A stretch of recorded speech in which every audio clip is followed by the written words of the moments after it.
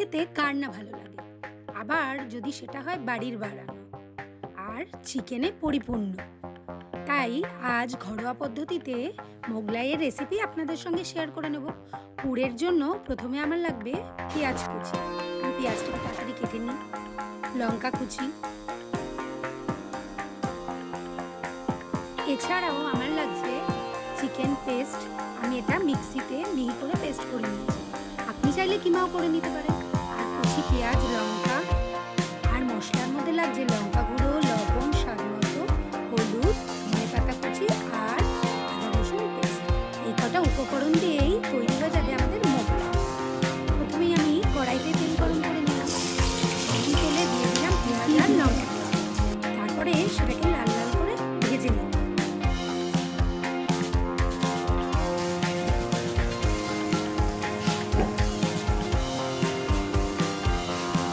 পেঁয়াজটা হালকা লাল লাল হলেই আমি এর মধ্যে দিয়ে দেব চিকেনের পেস্টটা।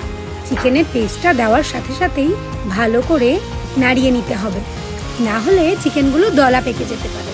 তাই আমি পেঁয়াজ কুচিটার সঙ্গে ভালো করে এটাকে নাড়িয়ে, মিশিয়ে ফ্রাই করে নিলাম।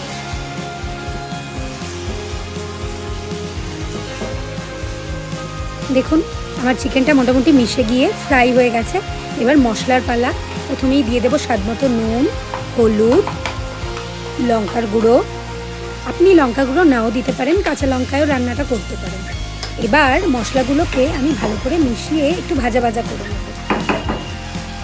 এরপরে আমি খুন্তি দিয়ে নাড়িয়ে নাড়িয়ে চিকেনগুলোকে ভেঙে ভেঙে দিচ্ছি, যাতে মশলাগুলো সব কিছুতে ভালো করে মিশে যায়।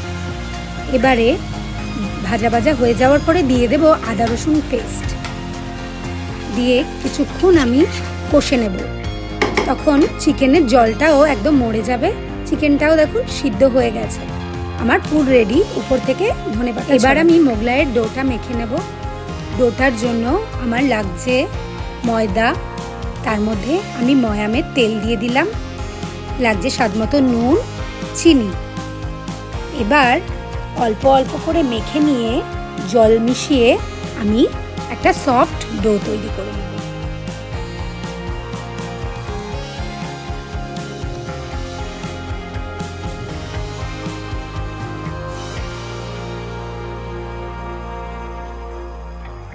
দেখুন, আমার ডোটা খুব সুন্দরভাবে তৈরি হয়ে গেছে। একটুও বাটির গায়ে ময়দা লেগে নেই। এবার আমি ডোটাকে কিছুক্ষণ রেস্টিং টাইম দেব। এবার আমি পুরটা ঠান্ডা করে নিয়ে তার মধ্যে মিশিয়ে দেব দুটো ডিম।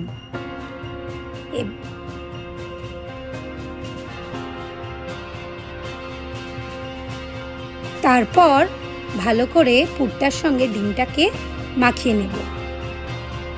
আর তার সঙ্গে দিয়ে দেব একটু বেড ক্রাম, যার জন্য বাইন্ডিংটা খুব সুন্দর হবে। এই কাজটা আপনাকে হাত দিয়েই করতে হবে, কেননা চামচ দিয়ে মেশানোটা সম্ভব না।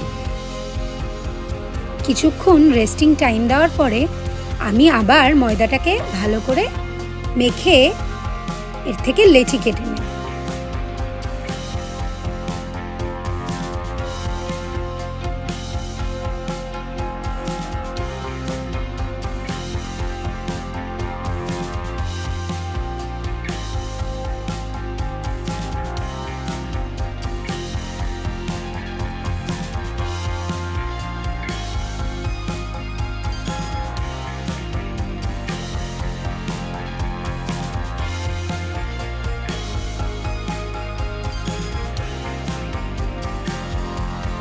এবার লেচিগুলোকে বেলে নেওয়ার পালা।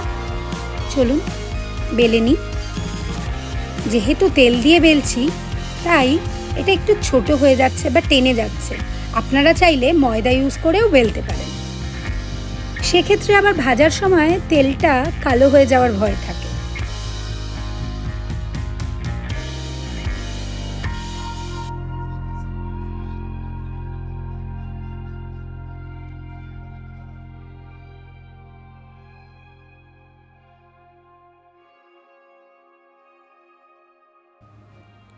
একদম পাতলা করে সুন্দর করে বেলে দুপাশটা মুড়ে মাঝখানে পুর দিয়ে আবার দু সাইডটা মুড়ে দিলেই আমাদের মোগলাই কিন্তু রেডি এবার ডিপ ফ্রাই করে নিলেই গরমা গরম মোগলাই তৈরি। চলুন, এবার মোগলাইটাকে ভেজে নেওয়া যাক। আমাদের তেল গরম হয়ে গেছে, আমি এবার মোগলাইটাকে ছেড়ে দিলাম।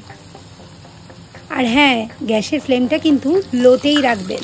না হলে কিন্তু উপরটা ক্রিস্পি হলেও ভেতরটা কিন্তু কাঁচা থেকে যাবে। অল্প আছে, এটাকে হতে দিতে হবে।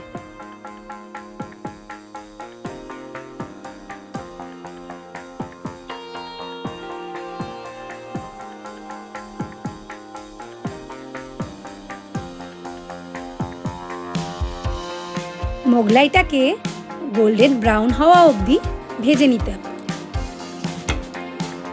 আমি এখানে চিকেনের পুর ব্যবহার করেছি। আপনারা চাইলে সোয়াবিন বা পনিরের পুরো ইউজ করতে পারেন। সেটা আপনাদের ইচ্ছা।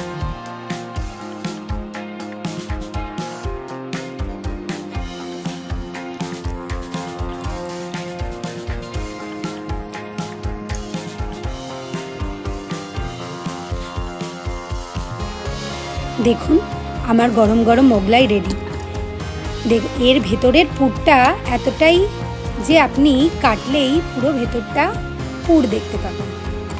ঘরোয়া পদ্ধতিতে খুব সহজ উপায়ে তৈরি করে নিতে পারেন আপনারা এই মোগলাইটা। এবার সসের সঙ্গে সার্ভ করে দিলেই আমার মোগলাই কিন্তু রেডি। বাচ্চাদের জন্য কিন্তু এই মোগলাইটা একদম সেফ বাইরের তেলটা অনেকেই আপনাদের বাচ্চাদের দিতে চান না। তাই বাচ্চাদের একটু মুডটা চেঞ্জ করতে এরকম বাড়িতে মুখরোচক খাবার কিন্তু তৈরিই করা যেতে পারে। খুব সহজ উপায়ে অবশ্যই ট্রাই করবেন। আর আমার রেসিপি যদি আপনাদের ভালো লাগে, তবে লাইক শেয়ার আর কমেন্ট করতে ভুলবেন না। আর কমেন্ট বক্সে অবশ্যই লিখবেন কেমন লাগল। Okay tata.